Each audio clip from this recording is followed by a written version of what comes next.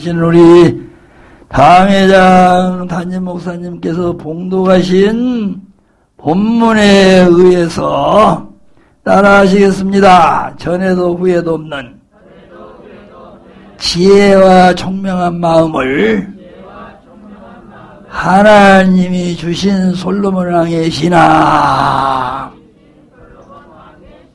예.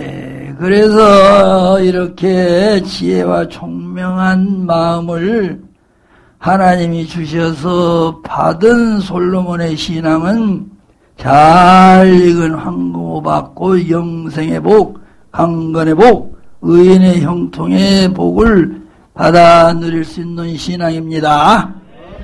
그래서 지난 시간에도 우리 상고를 좀 했지요. 그러나 오늘 또 더 구체적으로 상고하면서 아버지께 영광 우리에게는 큰 은혜와 양육간에 복된 예배되기를 주의 이름으로 간절히 바라며 부탁을 드립니다. 자, 본문에 보면 솔로몬이 이스라엘 백성 자기 동족들을 선악을 분별해서 바로 왕노로 잘하기 위해서 어, 일천 번제를 기도원 산당에 내려가서 드리면서 뭘 구했습니까? 예, 지혜로운 마음을 구했습니다.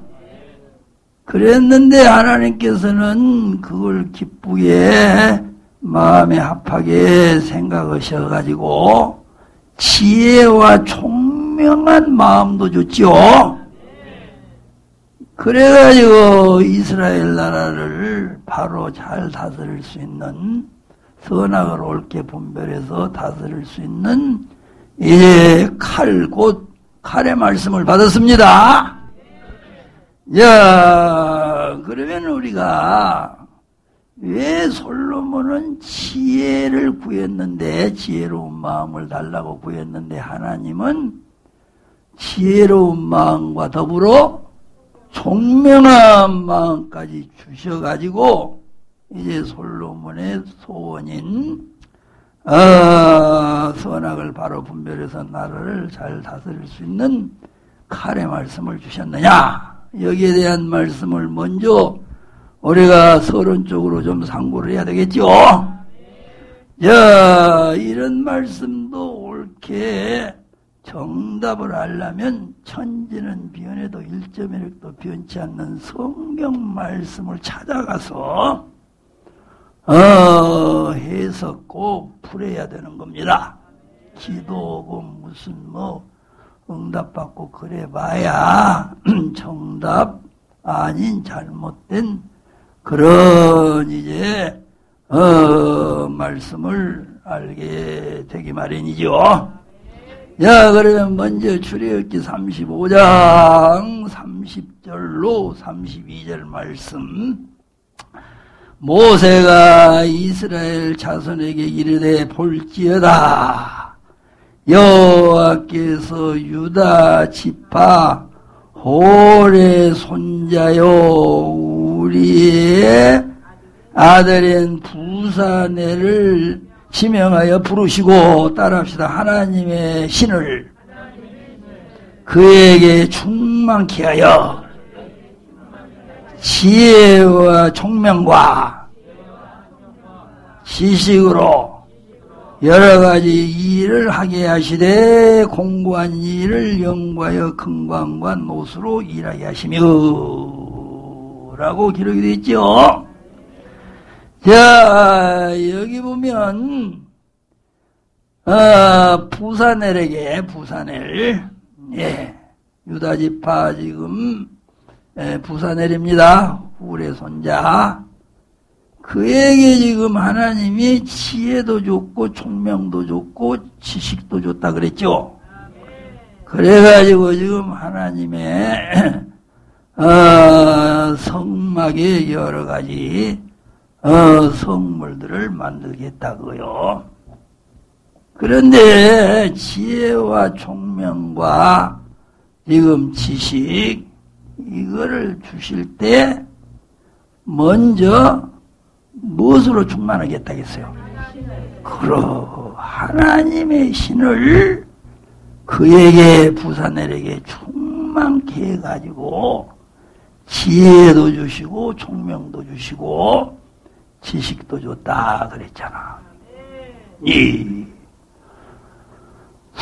그러기 때문에 솔로몬이 하나님 앞에 지혜를 구한 거나 하나님이 솔로몬에게 지혜를 구한 솔로몬에게 지혜를 주시고 총명을 주신 거나 다 지금 하나님의 신을 솔로몬에게 주어 가지고 충만케 해 가지고 지혜도 주시고 총명도 줬다라고 이렇게 아는 것을 옳게 하는 정답이에요 정답 그리고 하나님의 신이 곧 구약 시대의 역사는 성령님 성령님을 말하는 거예요 그 영어 성경 가진 분은 The Spirit of God 그랬잖아요 하나님의 신 하나님의 성령. 그래서 지금 세상에 무슨 지혜를 받고 총명은 그런 거를 하나님이 세상 사람들에게 준 것처럼 세상 사람들이 받아가지고 뭐 지혜, 세상에 지혜스러운 지 얼마나 많고 총명 있는 지 얼마나 많고 지식 있는 지 얼마나 많냐. 예수님 안 믿고 하나님 안 믿고 저 다른 종교 믿고 뭐 야, 요새 그 핸드폰 얼마나 지혜 있고 총명 있고 지식 있으면 그렇게 잘 만들어내고. 그런데 그게 지금 저기 솔로몬에게 지금 하나님이 주신 지혜고 총명이야? 그래서 우리는 하나님께로 어, 성부, 성자, 성령, 삼일체 하나님 아니요. 삼일체 하나님 대신 성령을 충만히 받아야 되는 성령을. 삼일체 하나님은 성령을 충만히 안 받고 마귀도 삼일체가 있어. 마부, 마자, 만신. 만신 충만 받아가지고 막 그냥 뭐 별걸 다 만들려고 별걸 다 쪽지기처럼 한다기야. 그거는 지금 여기 본문에 기록에 놓은 솔로몬에게 하나님이 신 지혜나 총명이 아니요. 야! 그래서 지금 성령 충만 솔로몬은 이미 받았어요 안 받았어요? 나는 어린애기라 출입할 줄 모르고 저, 저 선악을 분별할 줄도 모르고 뭐 말할 줄도 모르겠네요. 나 이미 성령은 받았다고 말이오. 그런데 이제 성령을 더 충만히 줘가지고 이제 이제 늦은 미성령이라고 할 수 있고 일곱령 성령이라고 할 수 있고 지금 받은 이미 받아놓은 성령보다 성령은 하나지만 역사는 다르니까 지혜와 총명의 은사를 줄 수 있는 성령을 또 확 솔로몬에게 충만히 부어줘가지고 지혜의 은사, 총명의 은사를 솔로몬에게 주시고 솔로몬은 받았습니다. 그러니까 이제 칼의 말씀을 받았다고요. 그러니까 은사입니다. 은사. 무엇의 은사? 성령의 은사라 말이야. 성령의 은사. 그다 그래서 이제 이사야서 11장 1절로 3절에도 이새 줄기에서 한 싹이 나며 그 뿌리에서 한 가지가 나서 결실할 것이요 따라합시다. 여호와의 신. 곧 지혜와 총명의 신이요 모략과 재능의 신이요 지식과 여호와를 경외하는 신이 그 위에 임하시리니 그가 여호와를 경외함으로 즐거움을 삼을 것이며 이 말씀은 초림 예수께서 이 땅에 사역하실 때에 대한 지금 말씀을 이사야 선지자를 통해서 미리 예언해온 말씀이요. 이사야서 7장 14절에는 이사야 선지자가 초림 예수에 대해서 거기도 예언했죠. 그거는 초림 예수에 대해서 뭘 예언했어요?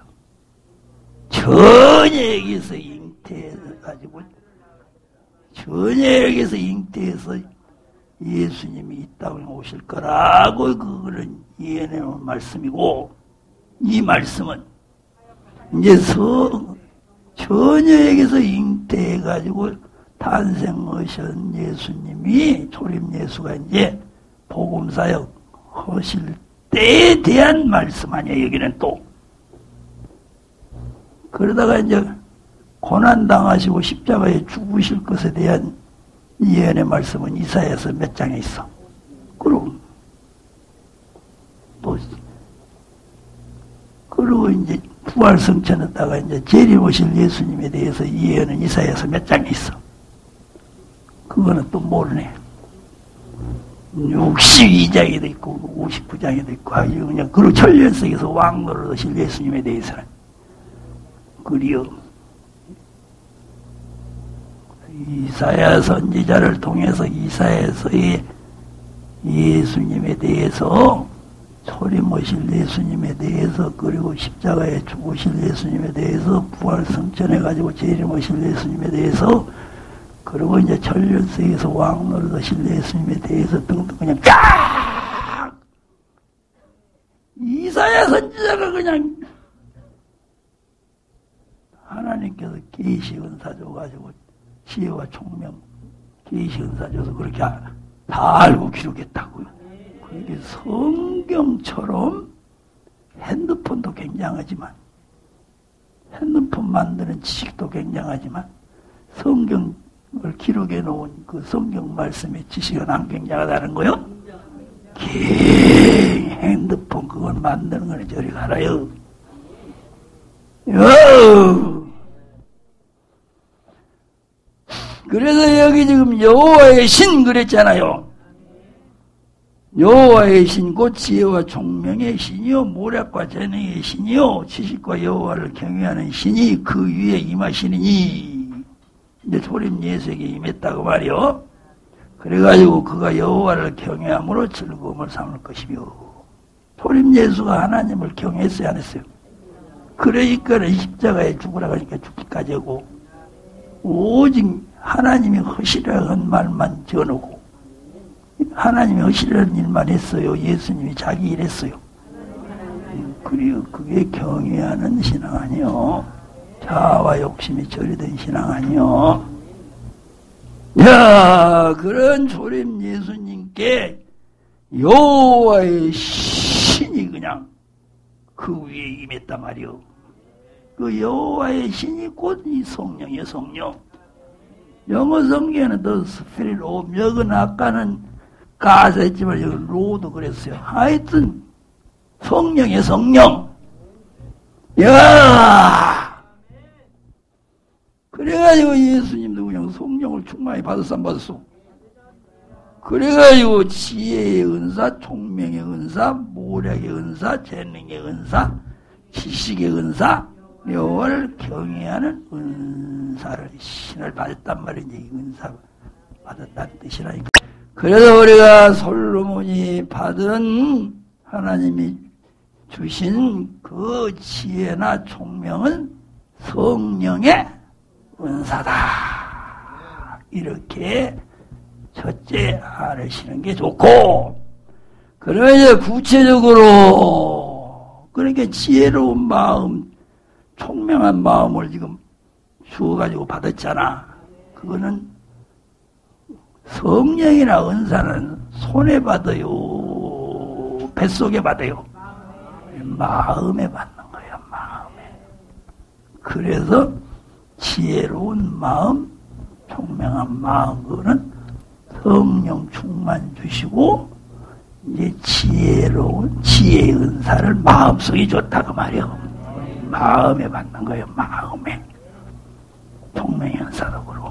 그런데 이 지혜로운 마음, 그 히브리의 원어를 보면요, 내부 쇼메야. 내부는 마음이고, 쇼메야는 이제 지혜로운. 귀 기울이는 마음, 듣는 마음. 예, 이렇게, 원어에는, 히브리어는 되어 있는데요. 그래서 이 추석가들이 추석을 쓴 추석 쓴 이제 신학자 목사들이 지혜로운 마음을 하나님의 말씀을 듣고 중심으로 그분의 뜻을 행하려 하는 행하려 하는 마음을 가리킨다. 라고 이렇게 이제 추석도 쓰고 그래 놨는데요.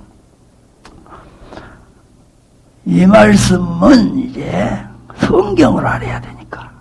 잠언 10장 14절.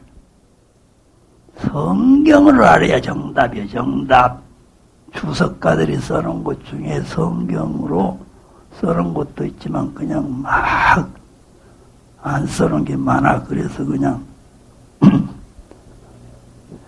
잠언 10장 14절 지혜로운 자는 지식을 간직하거니와 미련한 자의 입은 멸망하느니라.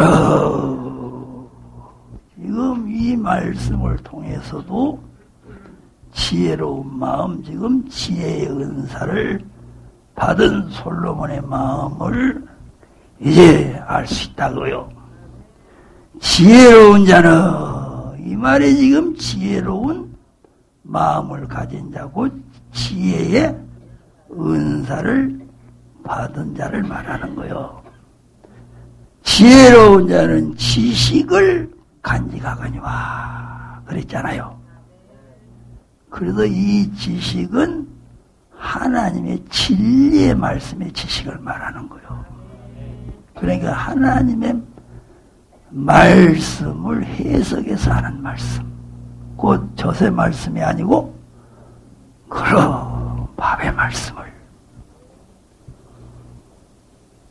그러니까 은사를 받으면 어쩐다는 뜻이오. 하나님의 말씀을 밥의 말씀을 하나님의 모든 말씀을 그런 마음에 간직한다고 말이야. 알게 된다고 말이야. 알아서 하나님의 말씀을 모든 말씀을 아는 이제 지식자가 된다고요.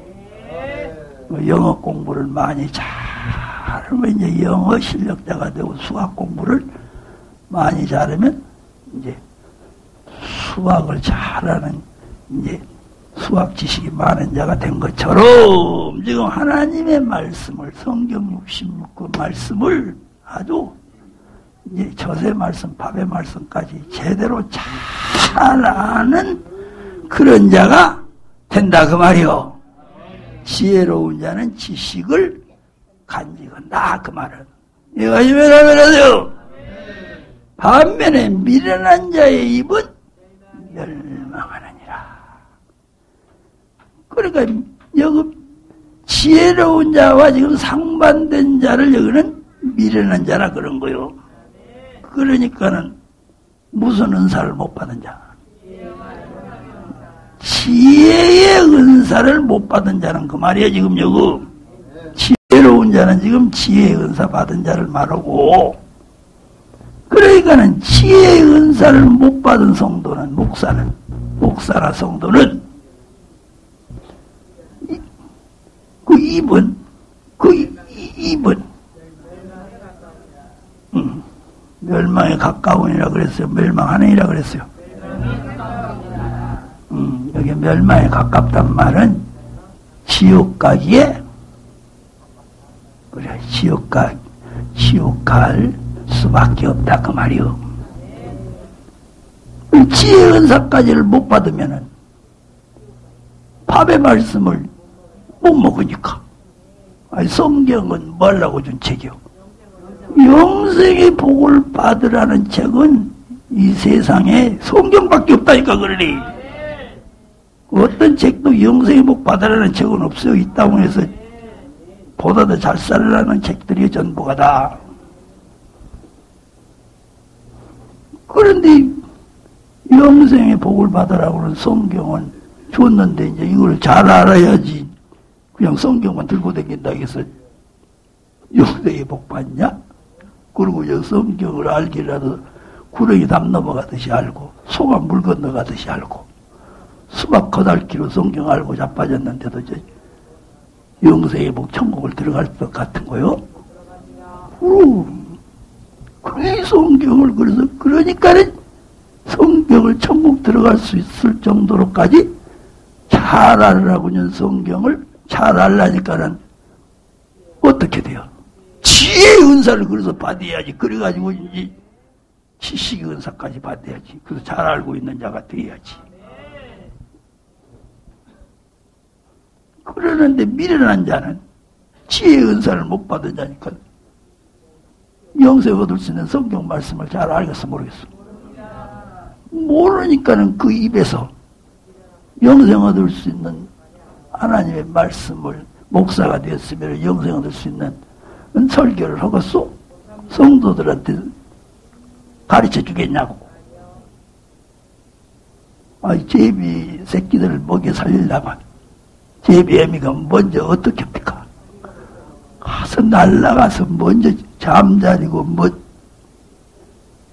하여튼 뭐 뭐고 뭐고 뭐고 맷두이고 뭐이고 무슨 자기가 먹고 입 속에 넣어가지고 와서 먹이잖아. 주의 정도 그러는 거예요 지금. 양떼들에게 장로 권사 집사님들에게 영의 양식을 하나님의 말씀을 지금 설교를 통해서 성경 공부를 통해서 먹여줘야 되잖아. 그것은 제비 새끼 먹여 살리려고 제비 엄마가 잡아 무슨 먹고 갖다 먹여준 것 같잖아. 그러니까 미련한 놈의 이놈의 주의 종은 지연사를 못 받았으니 성경 말씀을 알 수가 있냐 모르잖아. 그러니까 입에서 못 만나고요. 그렇게 명명받으려면 말씀만 나올 거 아니요. 지금 그 말씀이 지금 미래는 자 입은, 입은 그럼 저도 그러고 이제 장로 권사 집사님들도 그냥 멸망하게 만드는 그런 지금 입 가지고 지금 목사 노릇하고 지금 주에 일한다. 여 지식도 지혜, 은, 은사, 은사. 아까 나왔잖아요. 여기 지금 어디에 나왔어요? 이사야서 11장에도 나오고 출애굽기 35장 30절에도 나왔잖아. 하나님의 신을 그에게 충만케 하여 지혜와 총명과 지식으로 그랬잖아. 그리고 이사야서 11장 2절에도 여호와의 신, 곧 지혜와 총명의 신, 모략과 재능의 신이요. 지식과, 여기 지식도 나오잖아요. 지식도 지금 은사요. 그래서 지식의 은사는 지혜의 은사를 받아가지고 하나님의 모든 말씀을, 밥의 말씀을 쫙 이제 깨달아서 깨닫게 하는 은사라니까 지혜의 은사는 이해가시나요? 모든 말씀을 깨닫게 하는 은사란 말이요. 근데 깨달아 가지고 알아 아는 알아서 소유한 하나님의 모든 말씀을 이제 소유케 하는 은사가 지식의 은사요. 이해가시나요? 봐요. 지혜의 은사를 충만히 받아가지고 모든 성경을 해석해서 어? 칼의 말씀까지 쫙 가르쳐 주는데 이 아무리 가르쳐 줘도 이게 그냥 뭐가 뭔지도 전혀 모를 수도 있고 알기라도 50%만 이해하고 소유하고 에? 믿음화 시키고 70%만 할 수 있고 나 다르잖아. 그거는 지식의 은사를 충만히 받으면 받을수록 지식의 은사를 충만히 받아가지고 모든 성경을 딱 가르쳐주면 지식의 은사를 많이 받으면 많이 받을수록 그걸 다 이해를 잘해서 자기 실력을 갖추는 거예요. 하나님의 말씀 실력자가 되는 거예요. 우리가 학교에서도 뭐 그래요. 이제 이거는 세상 적이지만은 학교에서 선생님들이 가르치면은 가르쳐 준 대로 그냥 100% 이해해서 그냥 그래서 시험 보면은 그냥 100점 맞는 애 있지만은 아무리 가르쳐 줘도 영 그냥 실력을 못 갖춰가지고 배워도 그냥 머릿속에 안 나, 간직을 못 해가지고 시험 보면 50점도 못 받은 것들 많잖아. 뭐 그냥 50점 졸업할 때까지. 어떤 애 70점, 80점짜리 다 다르잖아. 이제 그것은 이제 세상적으로는 그냥 머리가 좋다 나쁘다 그러지만 하나님의 말씀은 세상적인 것과는 다른 거예요. 지금 성령님을 받아가지고 성령님에 의해서만 그럼 이해하고 그럼 소화시키고 그리고 간직할 수 있는 거 이게.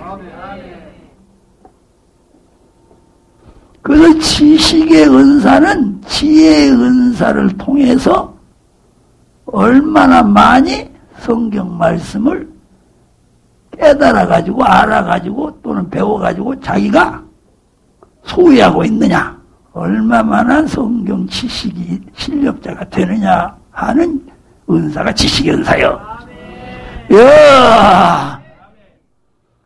그 다음에 그런 이제 총명 은사는 뭐냐를 또 알아야 된단 말이요.